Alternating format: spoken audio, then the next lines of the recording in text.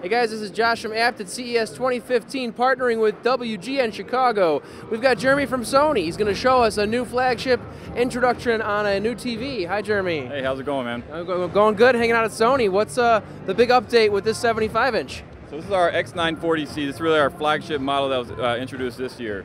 Big thing here, this has what we call Extended Dynamic Range Pro. So this is a full array TV with local dimming. So it's going to give you the, the brightest brights you can get it with the, the inky blacks that everyone really expects from a premium TV. Um, new for this year is this TV speakers do support high-res audio.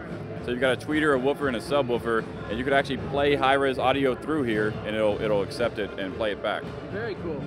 And uh, they have the speaker design, and I, I can't see the side from where I'm standing, but does that bezel come out a little bit? The bezel does come out a little bit. So last year we had the, the whole wedge design.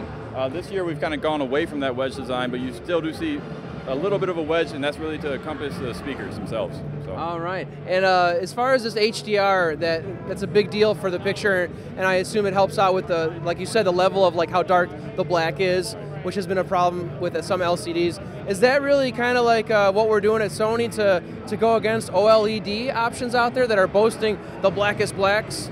Well, so a little bit different technologies, but really looking at what we call Extended Dynamic Range Pro, so denoting that as a full array local dimming TV, what that's able to do is play the new HDR content, so new high dynamic range content that you're starting to see from like Netflix with uh, Marco Polo, for example. Um, when stuff is shot like that, you really have your highs, your mids, and your lows shot on video in, per frame. Um, a lot of TVs can't decipher those highs and lows. This TV here is actually able to play all of that, that entire depth because it's, it's HDR compatible. Right, sounds good. And when do we see the 75 inch come out? Another spring release here as well. All right, thanks a lot. Yeah, no problem. All right, guys, a lot more stuff going on at CES 2015. Any comments? Love to hear from you guys.